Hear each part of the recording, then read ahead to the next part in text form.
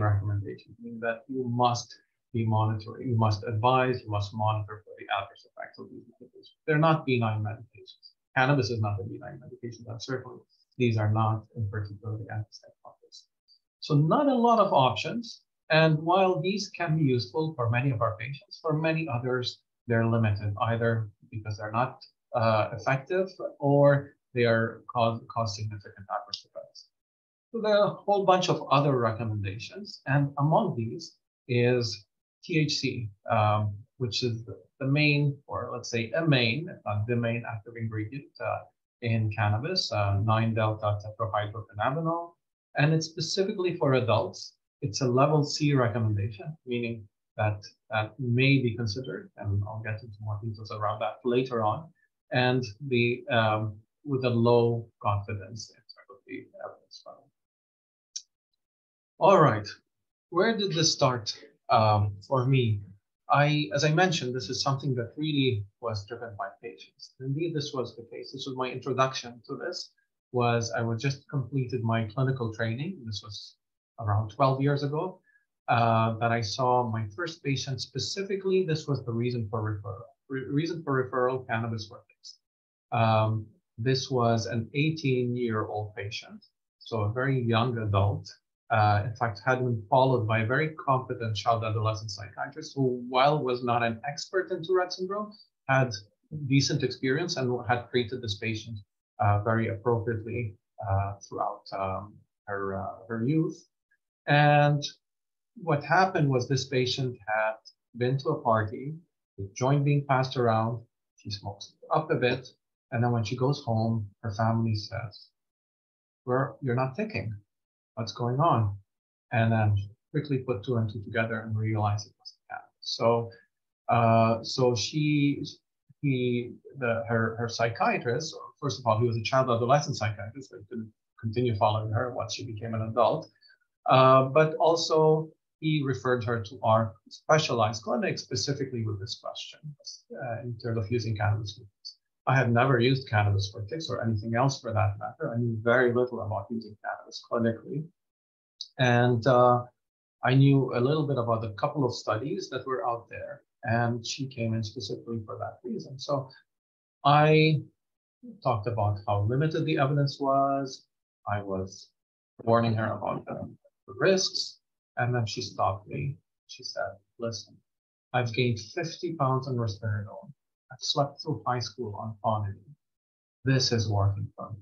Don't give me your, you know, risks and such. And, and you know, uh, so, so I had no choice. I felt, and I, I really, uh, it made sense what she was saying, and I really got into this. So basically, I had to figure out the bureaucratic process, which was quite different back then compared to today. Things have changed a lot, and I'll go over that as well. And that's how I started getting into this.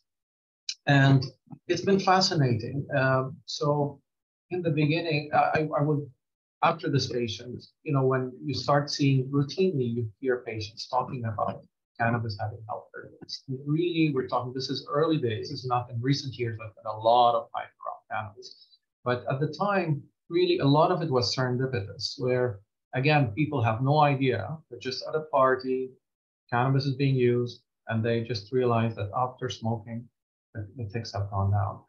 And so, and, and this would be, you know, I'd be asking what makes the ticks worse, what makes the ticks better, and that's how the history would come. And so I would start, I began to, to very tentatively, gradually offer cannabis for patients who had failed multiple treatments, whether the, the antipsychotics, alpha 2 agonists, uh, behavioral therapy, and I was often very struck by the response.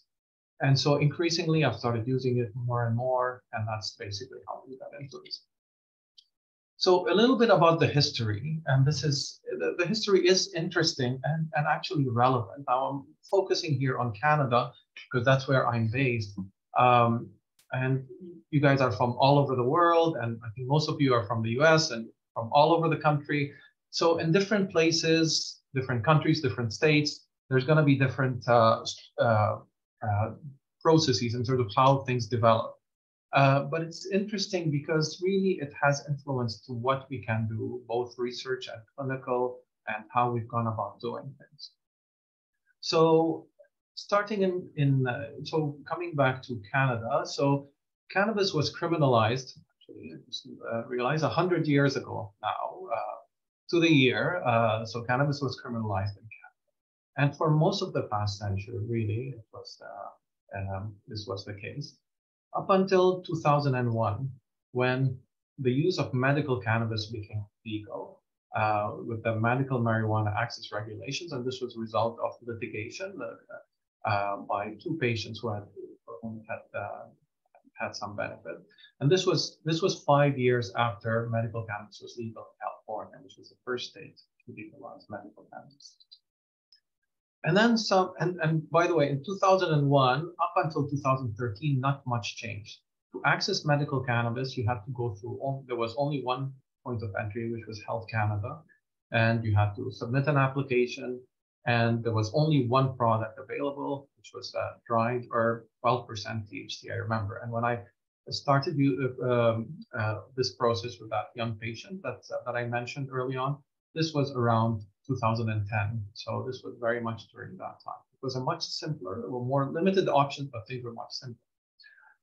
Health Canada wanted to get out of that business. And what and, and what they did is instead of being the sole point of entry for cannabis, um, what they did is they began licensing producers. So there was a change, a significant change in 2013, where they uh, where you have an explosion in different companies uh, to, that apply to Health Canada to become licensed producers. So they were referred to as LPs or medical cannabis. Again, we're talking medical cannabis. And then there was a plethora of options, an explosion of different options. So now we had dozens of companies and each with many, many products they were offering. And now we were not just talking about THC, we were talking about CBD, different levels of each, different kinds of plants, and different names, Black Diamond, Black Kush, it became very, or Purple Kush, I think was very confusing. And so there was an explosion of options. And now instead of applying to Health Canada, you were submitting something to one of those companies and was a very quick, straightforward process. And then you buy the product from the company directly. In 2015, the definition of medical cannabis expanded, and now it included cannabis oil and fresh buds. So before it was still dried herb, and the only legal thing you could do it, with it was inhale it, but it was smoking it, vaporizing it. Um, and for a lot of patients, this was not something they wanted to do. Um, they, for various reasons, they wanted to be able to take it orally, but this was not available until 2015. Um, and then the big event happened in 2018 was cannabis became completely legal in Canada for recreational. I say completely legal. It is regulated similar to alcohol, but in a different way. And um, so now things change a lot now because now we, patients don't even need to come to us, right? Heck, you could say they never needed to come to us. It's so available in the black market. But anyhow, legally it became recreational, and um, and so that also has changed things and uh, quite a bit. And um, we'll I'll touch on that later on. And uh, and then in um, a year later, um, other the, the uh, other things like such as cannabis edibles, topicals, concentrates became legal as well. Although I have the asterisk here is there's a lot of variation across the provinces in terms of what's available and how it's regulated. So Quebec, the province of Quebec, which is uh, it, that's where things are most tightly regulated. There's only one single supplier, which is the province, and there are a lot of things that are not available, like gummies, candy, you know, these kinds of edibles are just not available in Quebec. Whereas another, on the other end of the spectrum is province of Ontario, where I am located, where you have an explosion of cannabis stores selling all sorts of things, including canna, uh, gummies and all sorts of things. I am not exaggerating when I say that from my house, within a 10 minute walk, I can get to 10 different cannabis stores. It's really an explosion. I don't know how they survive, but there's such a market for them. Um, but anyhow, point is that there's a lot of variation even in Canada. Okay, and with this explosion, there's also been an explosion of different medical cannabis clinics selling cannabis for everything. And I get all sorts of flyers, either from the companies themselves advertising their products for different, all sorts of different things, um, or from medical cannabis clinics. And it's really very striking. Like, look at this one commonly treated conditions. Uh, anxiety, PTSD, ADHD, depression, insomnia, stress, panic disorder, bipolar, borderline personality disorder. It is very striking. Maybe what's they can add to the list uh, peace in the Middle East, world famine, and whatnot. So it is really when you start seeing something advertised so widely and marketed so widely as a as a as a panacea for everything, I think it does warrant skepticism and it warrants caution and concern in terms of um, what's happening. I mean, people are very aware that we have an opioid epidemic, uh, in particular in North America, and it started by these specialized clinics marketing opioids uh, very aggressively. And so I think caution is certainly warranted in how we proceed with this. And this is the title of an article, uh, Why We Need to Press Pause on Any Kind of Cannabis Promotion. Many companies are selling marijuana as if the drug is totally harmless. It's not. This is written by Ruth Ross, who's the chair of the Department of Pharmacology here in Toronto at the University of Toronto. And um, she is, this is her area of interest. It's, it's cannabis in particular, CBD, cannabidiol is her area of expertise. All right. Starting with some basics here, I just want to make sure everyone's on the same page and oriented some very basic term, terms here. So I mentioned THC. Um, what is THC? Uh, um, delta 9 uh, tetrahydrocannabinol. It's a partial agonist, agonist to CB1 and CB2 receptors. Uh, these are uh, receptors that are, in particular, the CB1 receptors that are very um, uh, uh, prevalent throughout the nervous system, and they're quite rich in the basal ganglia in particular. Um, and then what about C? And, and I have to say, these receptors, they were not created for the purpose of THC. Who knows evolutionarily? But there is an endocannabinoid system. Okay? There's a whole very elaborate endocannabinoid system that is something we're still learning about. And two in particular uh, uh, endocannabinoid compounds are anandamide and uh, and 2-AG. And uh, so, uh, and those are compounds that are active on these receptors. Okay? And then CBD is cannabidiol. It's a negative allosteric modulator of these receptors. Basically, it decreases the effect of THC through these receptors. But it's not just these two. These two are what get the most attention. And most products you buy will tell you how much THC and how much CBD there are in them. However, there are hundreds of other compounds. And then there are the so-called terpenes that give the, the particular odor uh, to the cannabis. And what, what I want to say is, and people talk about um, the milieu effect or how that, that uh, the effect of THC might be not just from THC itself, but it might be in the presence of these other things. Um, and so it's, it's very complex. You see studies uh, about, you know, cannabis or THC effects at different conditions and how it changes in very different ways depending on the ratio of CBD. So it's all this to say it's quite complex. It's very early days, um, but uh, it's uh, this is basically the, the, these are the basics of, of, uh, of, the cannabis compounds at this point. What about the products themselves? So what is available? What are the options? Uh, also, lots of options available, uh, but broadly, it, there are three different ways uh, cannabis can be used. There are the pharmaceuticals, there's inhaled cannabis, and there's oral cannabis. So in terms of the pharmaceuticals, there's Nabilone, which is a synthetic uh, partial agonist to CBR1, CBR2. Um, so it's basically a synthetic compound. And then you have dronabinol, which is THC essentially, but it's, it's made synthetically, but it's THC. Uh, so these are both pills. You have nabiximols, which is a spray, the brand name Sativex, and it's it's an oral mucosal spray that is has both THC and CBD in it in equal ratio roughly. And then you have cannabidiol, which is um, uh, just CBD basically, and it's, it's own product. It's, it's, licensed by the FDA. Epidiolex is the brand name for rare forms of epilepsy, uh, Dravet syndrome, Lennox-Gastaut syndrome, and uh, and it's it's amazing to see. By the way, I'll say like because of the, I mean, it's it's in some patients who have had uh, resistance and have had severe uh, epilepsy uh, that has not uh, responded to treatment, uh, this has been miraculous. But because of the headlines, people start getting the thought that this, oh, this is good. And so I've seen, you know, it's amazing how things change in, in just a few years. I've seen patients where the parents give them like 10 drops of CBD oil because of some concept that is kind of good for you. So caution against that. And then cannabis can be inhaled either by smoking or by vaporizing or by vaping, especially vaping has been uh, very uh, uh, popular recently.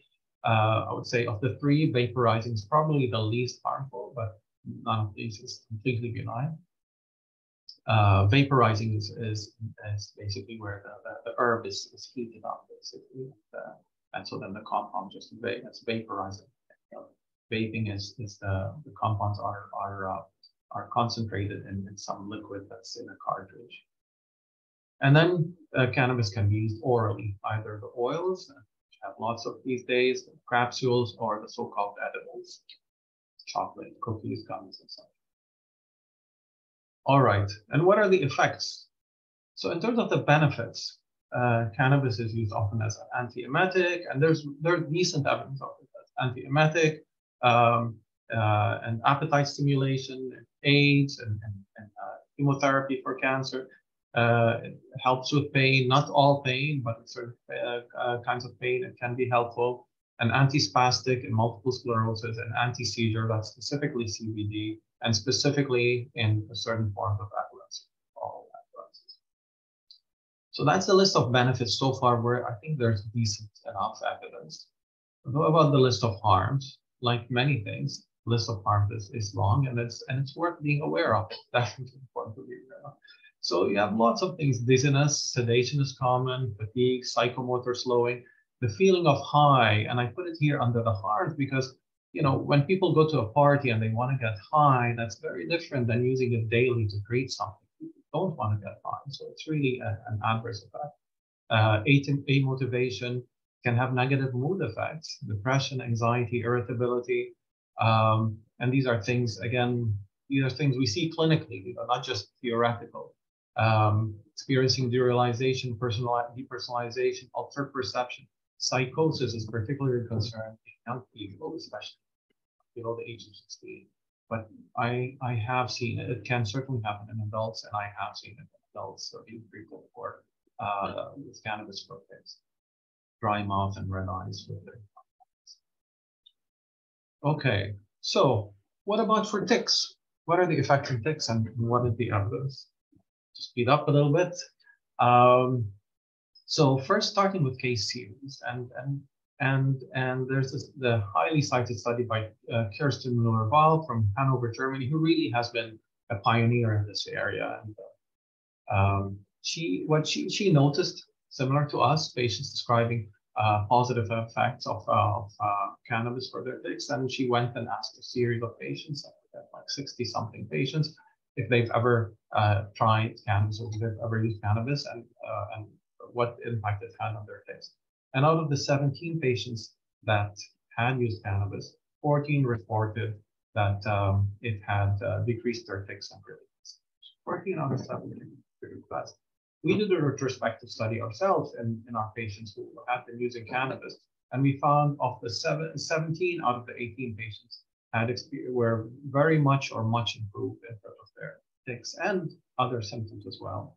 So uh, the, the, the hope in that study was to understand a little bit more how patients were using it and see what we could from it, but there's a lot of variation how people were using the product.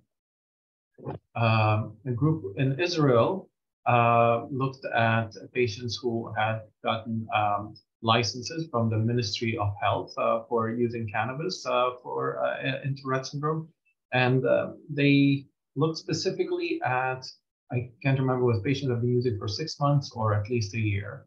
Uh, so again, like all the other samples, didn't include everyone, uh, patients who continue to use it, um, but or who had used it for a certain period of time rather. And so 38 out of the 42 reported any kind of benefit. But in terms of the adverse effect, and uh, by the way, a lot of our patients experience adverse effects, but generally what was they were tolerable and relatively mild. But and and it's here it was striking where four of their patients reported hallucinations, six irritability and confusion, seven cognitive decline, and one out of the uh, 42 acute uh, psychotic episode. And 10 of the 42 stopped after a year. So it's uh, again not not not exactly a benign drug. Uh, uh, Kirsten's group uh, from Germany uh, interviewed 98 patients, and one interesting finding they had was that there was a preference for THC-rich medical cannabis over um, over things that were less THC, more CBD, or over what's interesting, over other forms like the pharmaceuticals. And I have to say, this was our experience as well. While we do use the pharmaceutical cannabis, uh, cannabinoids, I should say, like nabinol, marinol is no longer available in Canada. They use it, uh, use nabiximols as well, and um, uh, so, uh, but definitely people prefer the THC-based uh, actual cannabis. And then very fresh, just from last week, uh, this paper was published just last week, uh, again from a group in Tel Aviv in Israel, 25 patients, 75% experience reduction, uh, so, sorry, 75% reduction in symptoms. So pretty substantial reduction in symptoms. Again, similar to what others have seen. And the other thing that's interesting that they report is that over the years, there was an increase in the amount of cannabis that they were using. So uh, that to have the same effect, there was an increase in the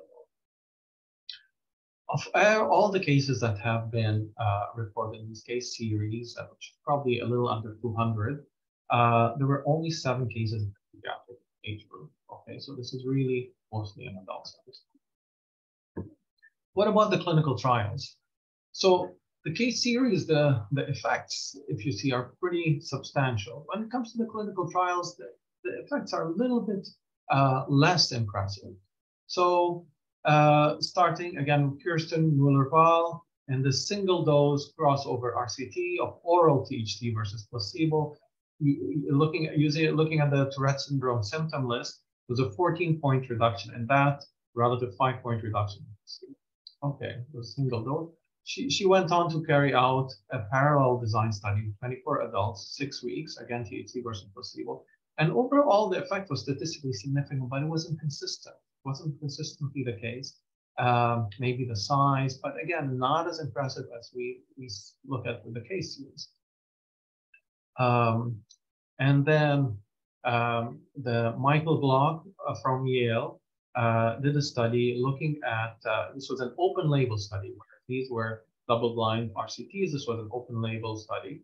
There was no control. And looking at THC with palmitoyl ethanolamide, okay, the idea that it would have more the, the milieu effect that uh, people talk about. Um, and there was a 20% improvement in the YGTSS uh, total tick score. Again, not as impressive, and it's open, and despite it being open, I don't know how this would survive the double-blind randomized control design. And then Kirsten, published more recently, did another study, and this one is not with cannabis, not actual cannabis, it's a cannabinoid or something it affects the cannab cannabinoid system, monoacyl glycerol lipase inhibitor. So it's an inhibitor of the enzyme MAG, which uh, breaks down the endocannabinoids, the TA2AG in particular. Um, and, uh, and, and so what they found was there was a statistical significant effect in favor of the placebo. So really, you know, this is not cannabis, mind you, and really it maybe it was more theoretical than anything else. The idea that if you, if you decrease the breakdown of the endocannabinoid, you would have more endocannabinoid. But that didn't work. And then uh, also recently, uh, there was uh, study, again from the Tel Aviv group, 18 adults, 12 week open label study. There was a 38% improvement in YTSS, but again, I emphasize it's uncontrollable. So that's pretty much it, or the main thing of the evidence until the study that I'll get into in a, in a sec. But basically, there's no been no study of uh, with actual uh, no RCT, I should say, or randomized control trial with actual um, cannabis, and no trial comparing THC to CBD. Which CBD, I have to say, it's, it's been striking for me to see how many patients were interested in CBD want to use CBD. Um, because of how much attention it was getting. So this is basically what we did. And so we did this cannabis randomized control trial where we looked at the efficacy and tolerability of three vaporized medical cannabis products for tics. Um, our primary efficacy endpoint were the modified Rush Video Tic Rating Scale, the MRVTRS. This, our secondary efficacy endpoints were the premonitory urge for tic scale, the subjective units of distress scale, and the clinical global impression for improvement scale. We also correlated the symptoms with cannabinoid plasma levels, and we were interested in tolerability. What were the three products that we're talking about? So basically, THC, THC in combo with CBD, just CBD, and placebo, is basically cannabis with a THC and CBD extracted below detectable. Everyone got the same thing. This was 0.25 grams of cannabis herb that was vaporized with that process. what was the design? Everyone got in under double-blind randomized controlled uh, conditions. We would get a single dose for one product. Weeks later, we get a single dose of the other product. Weeks later, third product. Weeks later, fourth product and they had blood levels and assessments done just at baseline before they got their dose, and half an hour after they got their dose, and one, two, three, and five hours after, where these things were measured, and then blood was sampled for THC as well as its metabolites, uh, hydroxy THC, which is actually the main active metabolite of THC, very potent uh, um, uh, metabolite, and then carboxy THC, which is inactive, and then uh, CBD in terms of the analysis with a nonlinear mixed effects modeling, and nonlinear because that goes up, up, down. So repeated measures, the same participants had the same product uh, different times, but it was adjusted for baseline score and treatment order effects. Um, and then there was correlation with uh, cannabinoid, cannabinoid plasma levels and everything that. So we screened 68 participants who were contacted us interested in inquiring about the study, interested in inquiring about the study at 17 met inclusion criteria. So a lot were excluded. Um, and this is where it gets interesting. The main reason for exclusion, were various reasons, but the main was a lot of patients were already using it and were not willing to give it up for the the study, even just temporarily. A lot of them thought that getting just free cannabis during the study until they realized it was just a single dose study, two weeks apart, and they have to be off that. So um, 17 met inclusion criteria, five were withdrawn uh, for various reasons, and then 12 were randomized. So who are the 12 patients that were randomized? 11 males. Uh, there was a lot of comorbidity with what, as you expect, uh, OCD, uh, seven had OCD, six had ADHD, uh, the YGTSS, the average uh, was uh, 28.7, the total fit score, range 15 to 44. Uh, seven of the operators taking various different concurrent medications. And then three of the 12 had passive most of them. there were three dropouts. Um, one due to an adverse event, specifically was I put here syncope slash seizure. The patient lost consciousness for about five seconds. It was very brief. There was some shaking, not entirely clear. It's just some myoclonic jerking in the context of syncope or his actual seizure. The patient was perfectly fine after that. One, the difficulty with drawing blood, and then one off uh, speculation. All right, what are what were our findings? So this is a bit of a busy graph, but don't worry, I'll walk you through it.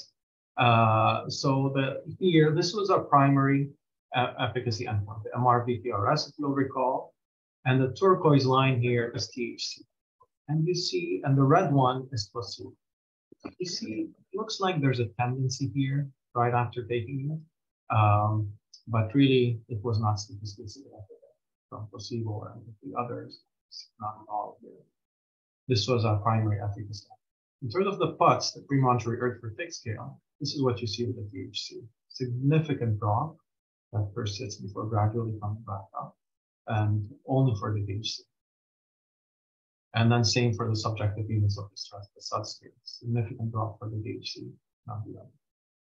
With the CGI, there was a general tendency for improvement right after taking uh, the, the, the cannabis um, in all arms, including a little bit in the placebo, but only the THC one uh, survives its uh, uh, statistical significance.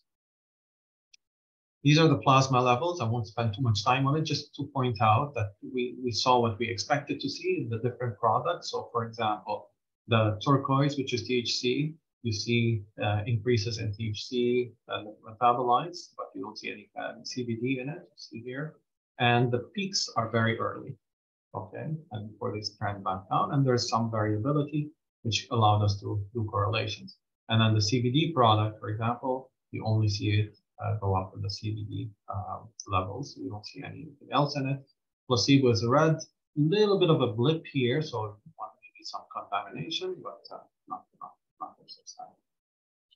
All right, now this is a fairly busy slide, but again, don't worry, I'll walk you through it. This is the uh, correlations with cannabinoid plasma levels. So looking first, what happened with the in, with the CBD arm? And this is what we should be looking at, these correlation. Okay, focus on the things that, that are relevant. Thing. So CBD, there was basically no correlation whatsoever with anything, the RBTRS or whatsoever. So across all levels of in the THC um, arm, we can see that with the THC and the hydroxybutyl these things correlate with each other. But anyhow, this is the potent hydroxy THC. And look, there was there was a negative, pretty significant negative correlations uh, with the MRVTRS, which was our primary uh, endpoint, with the PUTS and with the SUDS, meaning that the higher the hydroxy THC, the lower were all. In the combo, it wasn't as much. You saw a little bit of THC. But basically, the THC and metabolites correlated negatively. What about tolerability? Well, if we look at the total here uh, of different types of effect domains, we can see that all three had way more adverse effects compared to the placebo and red here. And you can also see that the THC had way more adverse effects compared to the others. Okay. And in particular, this was driven by cognitive effects, dizziness, psychomotor slowing, that kind of thing. Okay. So even though it was the most, uh, it had the most beneficial impact, it also had what about the blinding? I, I, I described the study as a double-blind trial. Well, um, the blinding was not very successful, meaning most people could correctly guess when they were asked after each treatment arm uh, in their opinion, what do they think they got? Most people got it. Uh, most people said when they got the placebo, most people said that they got placebo. And then with the CBD, most people said they got cannabis. Fashion says placebo. Those that got the THC, well, they all got THC. Got the THC. Everyone actually got THC. Okay. So what are the limitations of your study? Sample size small. This was a single dose trial. How things could change when people are taking uh, cannabis on an ongoing basis. And it was a fixed dose trial, meaning everyone got the same dose and the delivery was through inhalation. So they got the same dose. And I would say, in retrospect, this was a pretty generous dose. On a group of patients that was mostly naive cannabis. No, no, no. Uh, there was no adjustment for how well it's working or adverse effects, and, and no surprise that blinding is not very successful. And again, I remind, keep reminding this is self-positive. So our next step, our hope is to, to do a chronic treatment cross over STDs. Now it's not single dose anymore and oral based on, and now we're not interested in CBD anymore, it's specifically with a THC-based oil with flexible dosing. And so that will help to adjust things based on, on people's uh, benefits and adverse effects which should help with blinding and should help with recruitment too, because people not feel I have to be off cannabis the whole time. Um, and if this works out, uh, then I think the field warrants a large multi-center parallel design study. Uh, this, I would say, is like that. And we have a proposal currently being uh, uh, evaluated by the do such a study. All right, in practice. So in practice, coming back to the uh, to the American Academy of Neurology recommendations. So as I mentioned, it's a level C recommendation we may offer in patients who have been are treatment resistant, so have failed um, the other other, other treatments, uh, first line treatments, and or or patients who are already using cannabis efficiently. Uh, you may offer medical cannabis, and but you must offer so level ACE recommendation either for anyone using medical cannabis wanting to use it must offer medical supervision either yourself or correct somewhere where they can get it. Must be using the lowest dose and periodically evaluate the need for it. Applies all of our medications. And then the other thing in particular is you must counsel with regards to driving. Uh, uh, so just reviewing the options. So what are the options here? What we do? So in the beginning, I when I was more hesitant and I was very more conservative in my approach to things. I pretty much always wanted to start with pharmaceuticals. Um, I have to say I don't as much now. I still mention it and I offer it. But the reason I don't as much is because when patients have pretty significant things, they fail the main treatments. From experience and from the literature, I anticipate that cannabis itself is going to be but nevertheless, I still offer it and I still use it. So that is an option. And that varies based on where you are. So in Canada, dronabinol is no longer available. If it were available, I would be. Nabilone is a synthetic that I found there's no direct evidence for this, but from experience, I found not as effective as dronabinol, but nevertheless, I do use it. Um, and, and, and it can help, but definitely helping patients. Nabiximols, which is the spray, um, is very expensive. And I have to mention, actually, Kirsten has a study that I think is nearing the end, probably in the process of being analyzed at this point, an RCT with nabiximols in, uh, specifically. That should be coming out hopefully. And I would say cannabidiol does not at this point have a role in this. Um, we used to use more inhaled, and we always recommended vaporizing over smoking, although a lot of patients still preferred smoking. Um, but uh, now, and, and it was partly because this was the only thing available, but now that oral cannabis is available, this is the preference. Inhaling is easier to titrate because they get the impact right away and they can adjust right away based on benefit and based on adverse effects.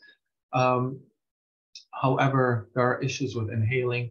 Uh, one is the risk to the lungs, uh, including from vaporizing. Vaporizing doesn't mean there's no nothing bad happening to the lungs. Uh, but also the effects don't last as long. They're much faster, but they don't last as long in general. There are exceptions to this, rare exceptions in patients where they, they inhale and they really need to do it once or twice a day and that's enough. So, but most of the time it doesn't last as long. In contrast to oral cannabis, and here um, I've been using more at this point the oil. They're easier easier to titrate. I use it like a medication basically. I will take something without CBD in it, something like 10% THC, and dose conservatively. Like say you take, if the patient has no experience with cannabis at all before, start low, go slow. Take, and it's dose typically um, twice a day. Some people could be once a day just at bedtime, and some people three times a day. And you can adjust the dose, you titrate and go up. Typically, I go up by about 0.1 mils a week so I'd say let's take our time rather than overshoot, and then and then and then see how and kind of get based on response. Caution. So always thinking about the harms. These things are like any medication. You know, want to think how it's affecting them functionally. Um, and anyone with a history of cyclosporamania, I would not go there. I would recommend against it. Uh, caution about interaction. These uh, they're, metabolized mainly by 2C9 and 3A4. And given that, that uh, 3A4 is a major metabolizer uh, of THC and CBD, um, you need to talk about uh, uh, grapefruit. So if you're suddenly starting to use lots of lots of grapefruit, drink grapefruit juice, it will affect the levels. Uh, caution against smoking. Um, uh, some patients still prefer it, but now that oral is available where I am, that would be preferable. And then caution against driving. Uh, with driving, things this is a, a work and this is an evolving situation. Um, uh, but uh, in Canada, it's purely by level. And even if you've been using it for years and, and completely habituated to it, it doesn't affect you at all in terms of psychomotor slowing. But if you get into an accident, even if it's not your fault and your levels are checked, it could be an issue. So you need to be cautious. And then certainly if someone who's starting a new um, uh, can in fact drive need to caution around this. And then with legalities. So um, there's a lot of variation across jurisdictions. And even if someone were to just telling someone yesterday that uh, asking about travel, well, even if you go to Canada to a state um, in the US where it's legal, you cannot bring it with you. You have to cross federal borders and it's not legal federally. So in the US, so there's also, so traveling is a no-no at this point uh, uh, with cannabis. So in conclusions, um, uh, in conclusion, so THC appears to be the one that is the main driver of anti-tic effects. That's still a work in progress, but at this point, I think the evidence is really coming together to indicate that. But it is also the, the, uh, the, the main compound that uh, can result in, in, harms, and that's something to be aware of. In contrast, CBD does not appear to have any uh, anti-tic effect. Uh, caution is warranted as we uh, as we do this. The evidence is still emerging. At the same time, uh, I think the field has benefited a lot through being open and uh, collaborating with patients as a whole, but also individually with any patient. It's, it's everything we do is about a collaborative relationship, and the, the whole thing is in adults. So that is pretty much it, and I'm happy for us to have a Q&A and discussion. And I see there are a number of questions already, so I'll start going through them. And feel free to put questions in the Q&A as we go. So the first one is where can we find research reports on tics and cannabis? I'd like to, I'd love to look more into this. Um, so research reports, uh, there is, in fact, the, the TAA a few years ago made uh, has a statement on uh, medical cannabis for tics. So that summarizes uh, where things were at. But this was, don't know, maybe three, four years ago, four years ago at this point. Uh, so there's been a lot of things since then. Well, you have access to these slides, so that's the latest evidence in these slides. And then also in, in one of the references in my slides, and the, there's a I, I mentioned SACO review that reviews the evidence pretty well. I, I think it was published last year or the year before. Uh, next question: Is the reduction in symptoms only evidence when evident when someone is high? The answer is no. it does not only evident when someone is high. If this was the if this were the case, then it would not work, this treatment.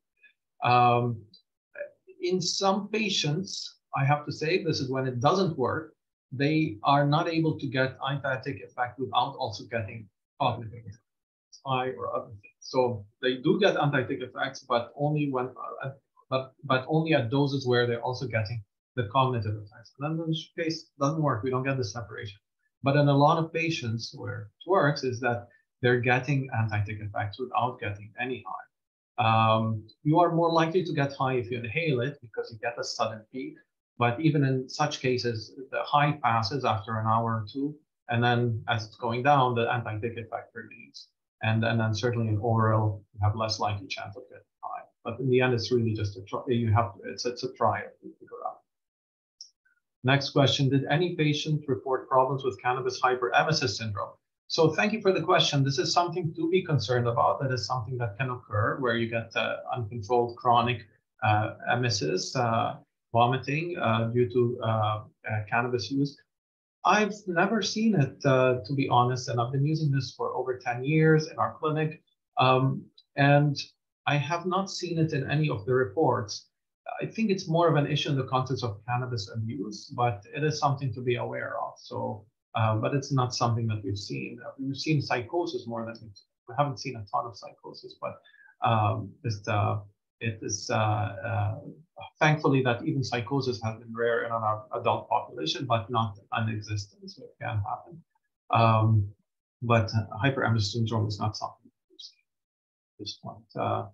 As an adult, next question, as an adult with TS, how can we get in touch with the team about participate, participating in a future trial? I would say um, depends where you are. I think really you would only be participate in a trial if there's a trial going on in your region right now. Probably that your best resource is the TAA to find out about this. Uh, at this point, these are all all the trials I've gone through or were done really just locally in their own jurisdictions. Um, in the future, if there is a large multi-center trial, then there could be something. But even then, it would be just the jurisdictions of the participating centers. Despite in Canada, it's surprising, despite it being legal recreation, so many cannabis the red tape to do research with it is still a lot, uh, and so it's not uh, it's not that easy. So anyhow, the best resource would probably be the TAA. Well, the other thing I would recommend is if you want to know if you're curious to find out more, is a, a clinicaltrials.gov. So it's one word, clinicaltrials.gov, and you can put in the search Tourette's and cannabis. This is like the registry for all clinical trials, and you can see if there are any ongoing and actively recruiting clinical trials in the area where you are. And then oh, Kevin Black just sent a link to uh, study the uh, the the um, uh, efficacy of the nabiximols results. Oh, when did this come out? Oh, I missed this. Thank you, Kevin. uh, so um, I somehow missed this. This came out in, just a couple of months ago, not even, and um, and I see that uh, uh, so this was, sorry, I mentioned an nabiximol study by Kirsten uh, Müller-Vahl. And I didn't mean this morning to double check that it hasn't been published yet, and I, I forgot to do that. So it looks like, uh, I'll just read out very quickly. The primary efficacy endpoint was defined as a tic reduction. Uh, okay, uh, although uh, of late, greater than 25% on the YGTSS total tic score, although a much larger number of patients in nabiximols compared to the placebo, met the responder criteria, superiority could not formally be demonstrated. Okay, so they did not separate their primary efficacy endpoint. This was despite it being it's a 97 patients. Uh, and then there were trends in secondary analysis towards uh, So okay, not particularly positive. Interesting. Thank you very much, Kevin. So there you go. Very fresh. Um, uh, how do we volunteer for future research? Uh, I would say contact the TAA about this. Uh, next question. Uh, CBD oil, if I understand correctly, does not help tics or tic attacks. That is correct. Uh, this is not something that we found from the evidence as CBD oil helping. If it helps, if it's placebo or whatever, fine, but it's not something that we've seen helping. What are the effects and research of for CBD in children? Uh, it's only very specific to these rare forms of epilepsy, Lennox-Gastaut uh, and Dravet syndrome. Uh, so it's not, there's no studies whatsoever and no evidence whatsoever that CBD does anything for tics of children. I would not expose children to, to CBD or any cannabis of this matter, but certainly there's no role for CBD. What is known about cannabis for anxiety disorders associated with Tourette syndrome? Thank you for this question. I'll just say very quickly, in the case series, all the case series, a common experience is, is people have experienced not just uh, improvement, not just in tics, but a lot of comorbidities, uh, OCD, anxiety, and such. I would never use it specifically to treat anxiety at this point, but it's something that we've noticed. Uh, but I don't think we have enough evidence to speak very confidently. Other than that, from the case series, we see that often uh, people with where they're getting cannabis specifically for the tics, often the anxiety goes down. Whether it's an effect, direct effect of the cannabis, or whether it's because of the tics improving, hard to sort out at this point. Um, very informative. Thank you. Any thoughts about including subgroup using treatment package THC and CBIT? Why not? I think at this point it's still too early, so we need to start with the basics, really sort out and uh, you know the effectiveness. But in the future, why not THC along with CBIT um, if needed uh, and and supported by evidence? Is there anything available for teens that may be effective? Not in the cannabis. Well, cannabis could be. I mean, this is the thing. I'll I'll confess that I have seen older teens with very severe tics or failed multiple treatments where I've wondered about cannabis uh, recently, and so. But you have to be very very careful. In fact, one particular patient, I told the patient and the family, and 17 year old pretty severe tics and failed everything. And I I did raise it as an option, and they declined. Is there anything, uh, then what CBD uh, oil THC free work uh, or has to have THC? Again, we see the interest in CBD. Thank you for these questions. It reflects the very intense interest in CBD. And I would say, again, not from the evidence, all the evidence whether it's the case series, the RCT, ours is the only RCT where we looked at CBD, there is no um, evidence of CBD oil for tics specifically. Okay, so I'd be wary about this. So really, it's the THC that is having the anti-tic effect, and it's no surprise there. In fact, when people started talking about this from experiences at parties, uh, well, those uh, they, those uh, joints have no CBD; it's just THC. Uh, could you talk about how cannabis may affect correlation between fixed anxiety, panic attacks? Has cannabis been shown to increase panic attacks in some? Yes. Cannabis can, although in a lot of patients will report decreased anxiety, and cannabis can certainly worsen anxiety and cause a panic attacks. So this is something that we see outside of the Tourette's world. A lot of people I work on a patient with it say people will report experiencing decreased anxiety panic attack. Uh, it's a research presentation just about the evidence for tics. That's correct. Know, just focusing on tics, not other disorder.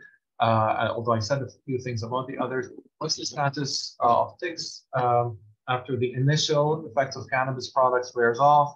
Um, similar to hangover with alcohol. No, no, that's not the goal. The goal is to have anti-tic effect without cognitive effects. And so the, hopefully this is what we get clinically.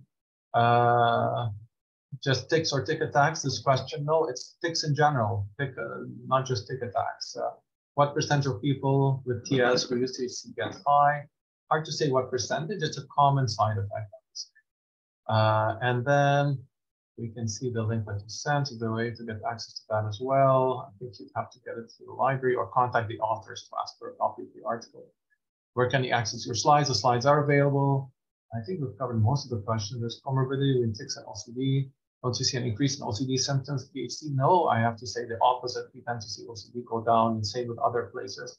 Um, so we are saying THC is helping us overall. It's a trial. Evidence is early, so it's something that can be tried, and and then you you'll see if it works for you or not. You just have to be cautious. Uh, different strains of weed. Well, the strains are unrecognizable at this point. They've been crossbred through beyond So I would just keep it simple. Focus on on, on the compound itself, which is THC. Um, uh, okay, we're done. um, I'll go ahead and let you answer one more question and then we'll have to end, please. Okay, so again, another question about CBD. It's clear CBD, there's no strong, strong there's, uh, I'll ask the answer the last question, sorry. Any other medication taken in combination with THC to help a motivational aspect? I would be careful there. I would be very cautious about using one medication to treat the side effects of another. If there's a motivation, I think uh, you need to play around with the cannabis as, it, as it's decreasing the dose, so hopefully for it to be a non-issue. No, I would be very wary. There's no evidence for doing any of that, and, and we want to be careful about not falling into a prescribing uh, chain. And that's pretty much it. Thank you so much all for your attention and for all, for all these questions. Thank you all. Please take a second to um, look at the survey link in the chat. We really appreciate your feedback and we hope that you enjoy the rest of the TAA virtual conference. Have a great day.